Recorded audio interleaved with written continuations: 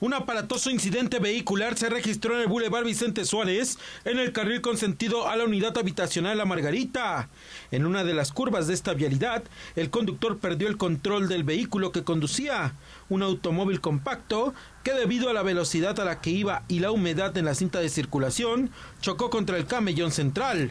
El impacto contra la guarnición ocasionó que el vehículo se volcara se impactara contra una lámpara de alumbrado público y terminara sobre el camellón.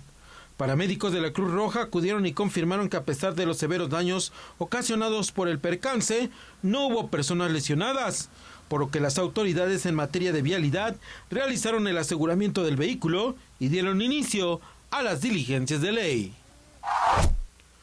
Tras el fallecimiento de una pareja la noche de este domingo en el kilómetro 31 del periférico ecológico, las autoridades decidieron tapar el bache que ocasionó la ruptura de la llanta y que derivó en el terrible accidente, el cual dejó sin vida a Karina Ambrosio y Oscar de Jesús Tapia de 25 y 28 años respectivamente.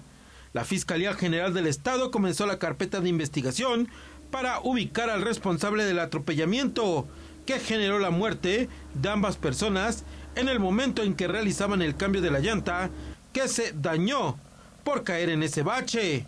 Por lo pronto los Yanco ya no existe y a unos metros yacen dos veladoras encendidas en memoria de aquella pareja que sucumbió cuando la falta de servicios públicos adecuados los obligó a ponerse en riesgo. Tras seis días de larga agonía falleció un hombre de 49 años debido a las severas lesiones que presentaba. El agente del Ministerio Público realizó el levantamiento de cadáver de José, quien durante la madrugada expiró en el Hospital de Traumatología y Ortopedia de San Pablo de Chimehuacán. De acuerdo a las investigaciones realizadas, hace seis meses el hombre se cayó de las escaleras de su casa al encontrarse en estado de ebriedad y se golpeó en la cabeza.